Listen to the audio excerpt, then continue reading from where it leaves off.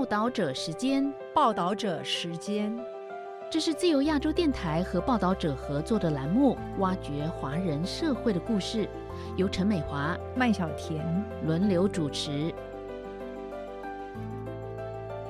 我爸爸他也承认说他要来过台湾，但是他不知道说台湾有儿子啊。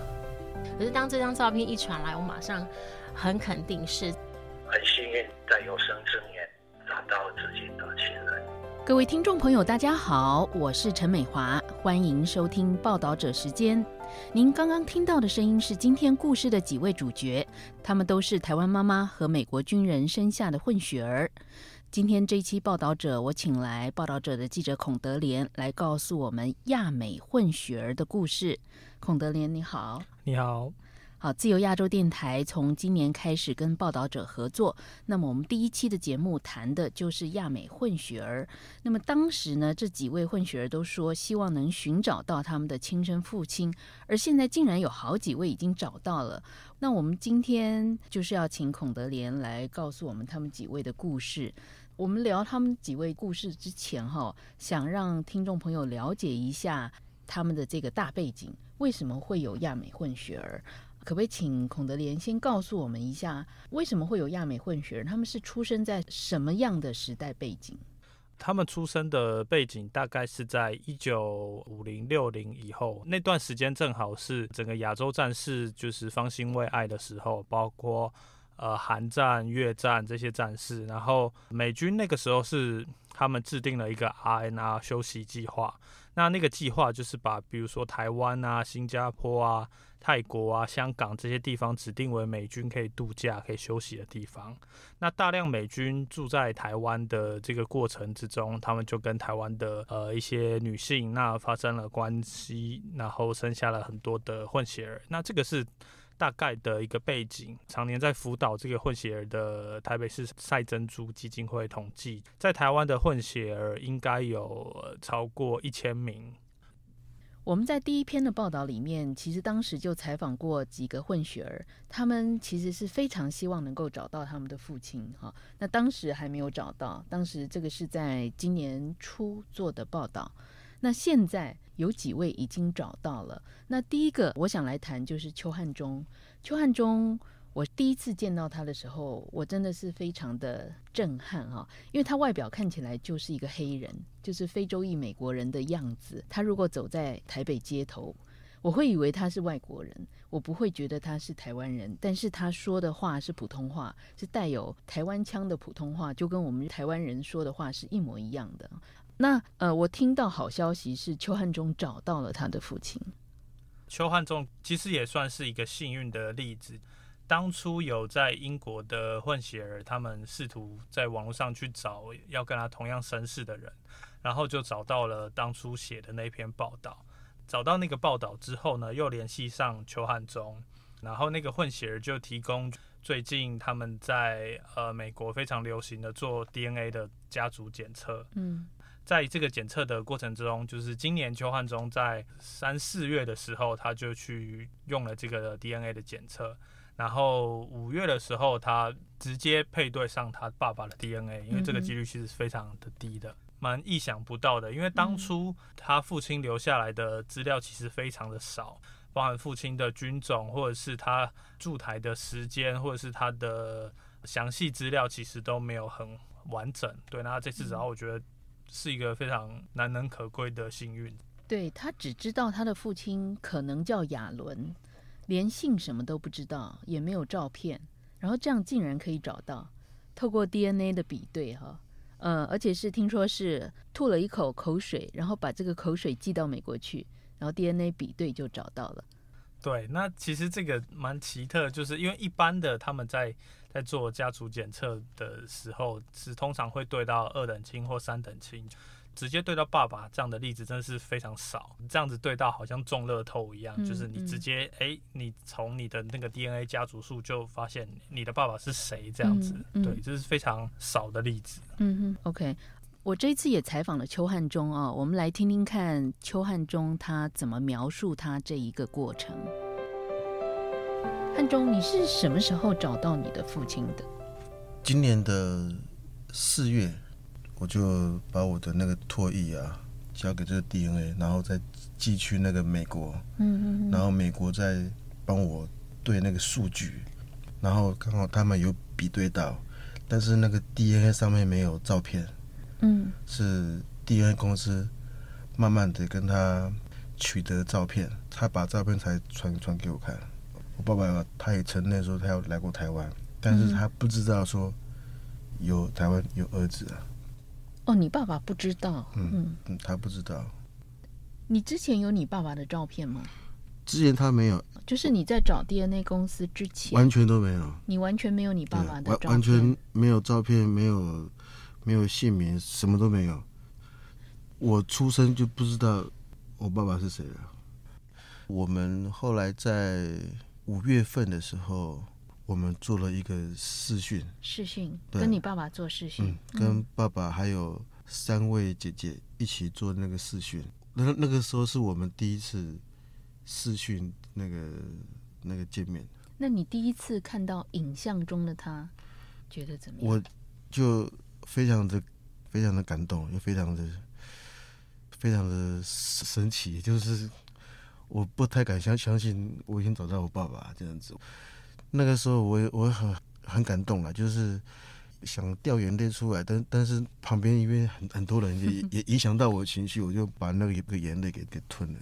那种感觉就很奇怪，就是四四十几年没有见过面，然后第一次见到亲生的爸爸爸，只是我们有那个沟通的障碍而已。嗯嗯，但是我见到他，我非常的开心，我觉得我那个 DNA 真的是好不可思议。嗯，试训的时候你们是透过翻译沟通，是哎不是？。对，对，那在试训当中，你爸爸有没有对你说什么？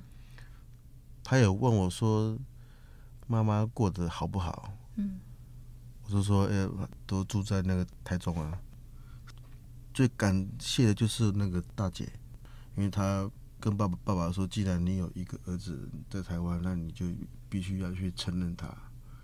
然后那是同父异母的大姐，对嗯，同父异母大大姐，嗯然后她帮我很多的忙。嗯，对，起先是爸爸好像不太敢接受这个事实，哦，他觉得就是会对家族不是很好。嗯哼，但后来大姐就是跟他讲，我爸爸后来就好，那我就来再接受这个儿子这样。所以之后你去了美国，嗯，对，我去嗯之后去去了美国。嗯嗯，你爸爸要你去的，嗯，对，没错。七月十四号第一次跟爸爸见面，嗯，他就在哪里见面他？在那个印第安纳州的那个飞机场，他们有写一个那个看板，就是写说写我的名字跟我女儿的名字，然后 Welcome to to Indiana 哎，对对就第一眼看到你爸爸啊是在机场，对对那，那个感觉是怎么？我就很开很开心，很感感动啊。嗯哼但我见了面之后，我就是那个有拥抱，嗯就觉得很很棒。我就是找到那个爸爸，这样这样子。嗯本来还想要大大哭一场的，结果结果后来就就变得就是很开心啊。嗯然后就到了爸爸家之后，爸爸就有请了翻译，所以我在那边哦狂狂哭了一下。对对对。嗯，在家里哭了一场，对嗯。对，就后来爸爸就慢慢的越来越接受我，嗯。就说叫我先熟悉这边的环境，嗯，将来你要来美国的时候，这边就是你的家。哦，他这样说，对我就非常的感动。嗯，他离开台湾之后，他到底有没有回来找你们呢？他有没有试着找你？没有，嗯，他他连回来找我妈妈都没有。他有提到为什么吗？或者是呃他这一段他有说吗？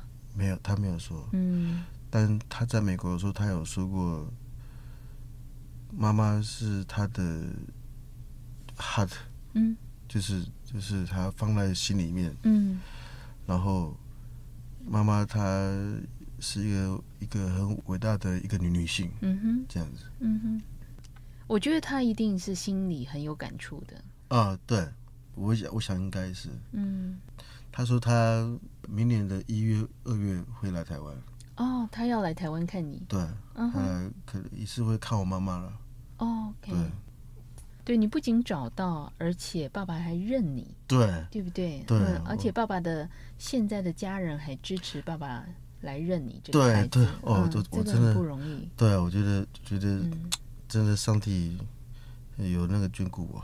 嗯嗯，对，那爸爸对你的将来有没有什么想法？有提出什么？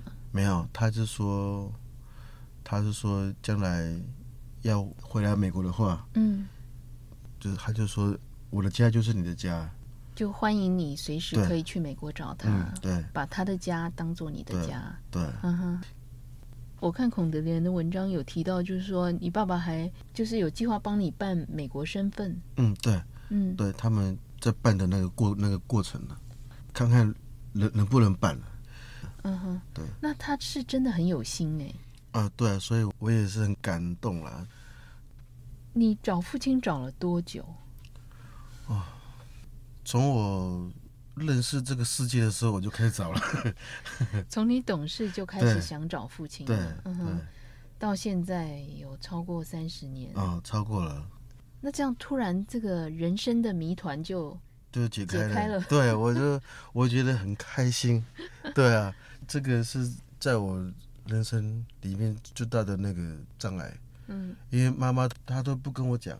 嗯哼。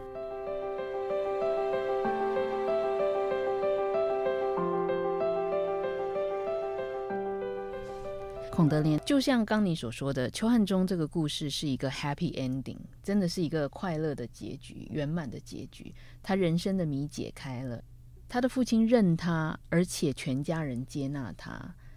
他是不是你听到亚美混血里面最幸运的例子？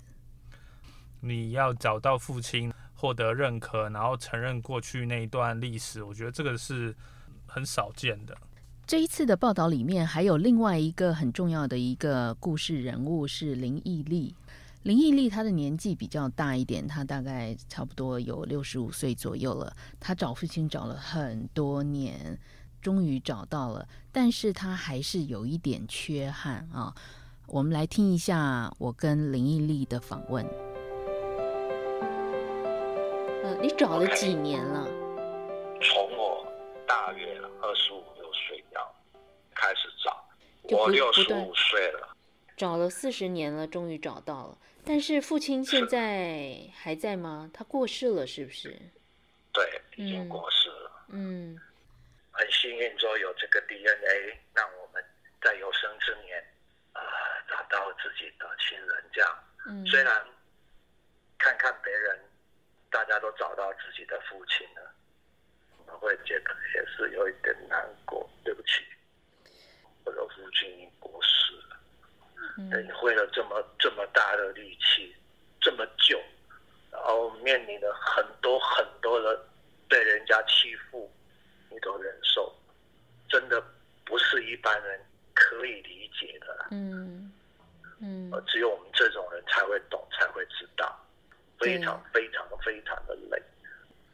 直到最近终于找到，关在自己的房间里面哭了一场，我老婆还以为发生什么事，总算有一个答案了。对，对，总总算有了，而且你想要知道美国发生的事情，直接问哥哥就可以。大哥接纳有你这个弟弟。对，后来我们通过一两次信了以后，他很主动、很大气的，嗯就是没有经过我的同意，也没有经过我的询问，嗯马上就把我列入 Gosby 我们这个家族的姓氏里面的族谱里面去了。哦，所以他心里没有芥蒂，说你的母亲跟他的母亲不是同一个人。没有，他没有这一种界定。嗯因为父亲有曾经跟他讲过，在台湾有这么一个小孩，嗯哼，对，嗯然后如果你有机会当兵到台湾去的话，你也可以去寻找这个小孩。哦，父亲有跟他说试试看，找你看对，看是不是？嗯，对，所以我一出现，他马上就知道嘛。哦，哼哼，对，而且我我的名字又是我爸爸取的，就叫 Adi 嘛，就是取我爸爸名字的中间名字嘛。嗯哼，你看过他吗？还是你是电话跟他联络的？都还没有通过电话，我们都一直都是在书信往来。然后要不我们就是互相的，就是他主动的给我了一些照片，然后我也主动的给他一些照片，我也给了我我的照片啊，还有我全家人的照片，包括我我妈妈的照片，还有我小时候的照片，嗯，嗯。还有我爸爸跟妈妈抱着我的小时候的照片，哦，你的资料很完整，是对，对，而且还有一张更重要的，就是在美国的三个兄弟，就是我爸爸跟那个大老婆生的小孩的照片。可是一直以来我都不知道那三个是谁，我不知道。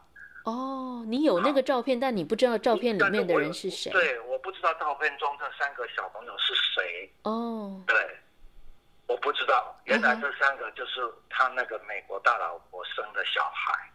所以你把这个照片寄给他看，然后他告诉你里面的对他马上人是谁认出，来，他说我知道这一张照片是谁。哦，这样子嗯，他马上告诉我说中间的是谁，然后左边旁边的那两个是孪生的兄弟，哦，对嗯一双胞胎，嗯然后他是大哥，这样中间的是大哥，嗯，对啊，那你父亲留给你的资料其实是其实是比较完整的，不像有一些人他手上甚至没有照片，所以更难，对不对？对，哦，所以当然会有一些生活照啊什么之类的很多，嗯嗯然后当然这中间就是我们搬家呀，或者是遗失啊什么很多的信件啊等等，很多都不见了，还蛮多的。嗯然后这些就是真的还好，就是硕果仅存的。嗯我一直很小心翼翼的把它装在一个铁盒箱子里面，这样子。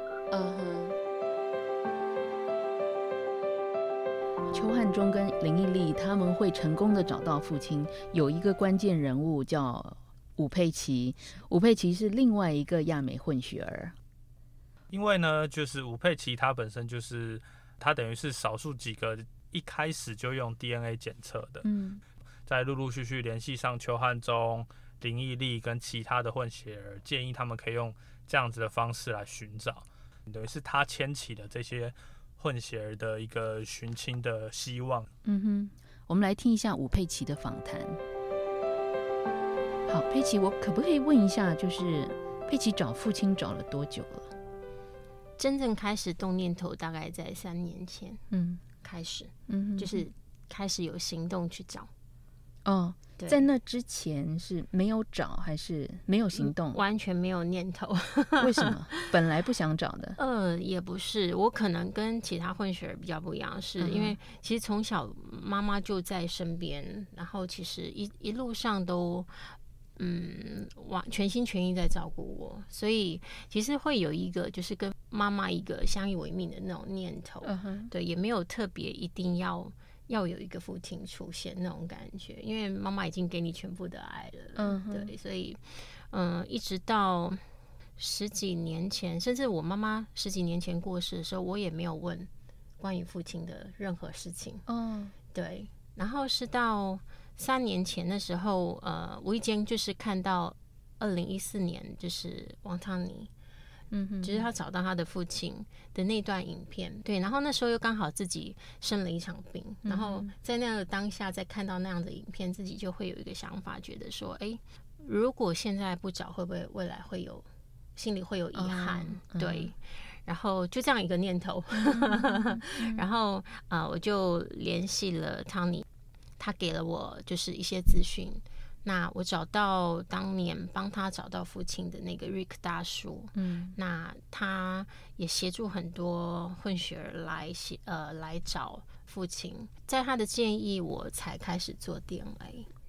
我总共从头到尾验了三家，嗯，对，那呃很棒的是在第三次就是有验到呃七个二等亲，嗯，就是还还蛮不错的数据。对，那在这个二等亲里面，研究员 Jessica 她联系上了其中一位，对，那她也很愿意协助，那就找到了我的父亲。这样子，嗯嗯，对找到的时候你是先看到照片还是怎么样？当时他传了一张照片来，嗯哼，那因为其实在这个之前，我其实就看过很多呃有可能性的照片，可是我都知道不是。可是当这张照片一传来，我马上很肯定是在接下来就是呃，这个二等亲他也很热心到他们外婆家去找了爸爸年轻的照片、嗯寄给我，嗯就是我们互相传了一些照片。嗯哼，对，那就刚好里面有雷同的，就是在同一个场景，然后但是不同角度。的照片。然你是光看他的样子，你就很确定他是你的父亲？对嗯哼哼，对，是因为你之前看过他的照片，还是你看到这些照片，你从里面认得，从他的面孔认得出来，他就是你的亲人，他就是就是直接看了就，因为他其实跟年轻的时候长得不像，但是你嗯会、呃很心里很一下就会很明白哦就是他。嗯哼，对，那当下的感觉是什么？嗯，看到照片，我觉得他身体很健康，其实我很开心。嗯，对，就是我觉得他有把自己照顾好。当然，就是继续你就会呃想要再去询问说，嗯，那他现在的生活的状况是怎么样？嗯对，那得到的回答其实呃他有一个太太在照顾他，那他现在身体还不错。嗯那其实听到这边我我又知道他的名字，因为之前我是不知道他的名字的。哦，你本来不知道他名，本来不知道本来只有一张照片，是呃有好几张照片，但是我哦不知道名字。可能我母亲有说，但是我并没有记住。哦，因为之前你没有 刻意刻意或是很在意这件事情，对嗯对对，然后后来我就觉得说，哎、其实到那里为止，其实我已经很开心了，哦，找到就就是找到，然后嗯我也知道他身体健康，有人照顾他这样子。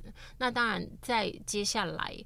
Jessica 就是这个研究员打电话给我父亲的时候，其实他是有吓到，可能就是突然间这么嗯很 shock 的事情。但当然，他第一下他是可能就是没有没有反应过来，他就说哦 no，我不是这位男士这样子。那但是他有问研究员说是谁委托你的，Jessica 有告诉他说哦是 Penny。那因为我的名字 Penny 是他取的，哦，对，那所以我想基本上还他是知道了，嗯，对嗯那只是嗯，我在回过头来跟二等亲这边在聊的时候，我告诉他说，其实我寻找父亲并没有一定要介入这个家庭去破坏现在他们的现状，对，等他准备好了，我们再、再见面也 OK，嗯，对对对，所以这件事情呢，就呃先放着，哦，对我觉得嗯就是给彼此一个空间吧。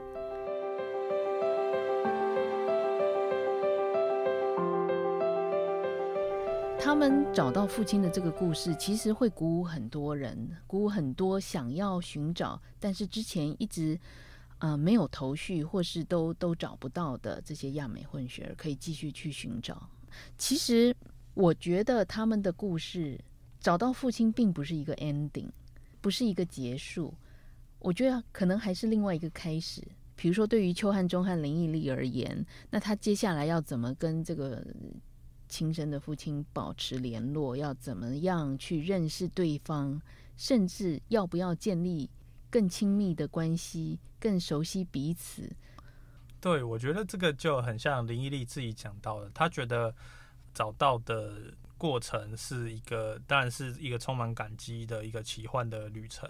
可是，就是回过头来想，他会觉得这个关系目前对他来说是一个很空洞的关系，嗯因为呃，你知道眼前这个人是你的亲人，但是你却没有跟他有任何的连接、任何的记忆、任何的情感跟互动。就是对这些混血来说，就是找到呃自己的亲人，其实是一个怎么讲，是另外一个新的开始，就是多一种选择。对他们来说，就是他不仅只是就是找到过去，好像呃写完考卷，呃只揭揭揭开答案这样子。我觉得就是开启新的一页，就是他们可以选择去跟这些呃原有的亲族去建立不同的关系，然后或许有的人选择去美国开展新的生活，或者是呃怎么样去维持两个家族之间的联系，怎么样合作，或者是甚至怎么样做生意。我觉得对他们来说，这是一个人生的新页，对，而不仅是一个结束这样子。嗯哼，好，今天非常谢谢你带来这么温暖的故事，也谢谢各位听众收听今天的报道者时间，我们下一次再会。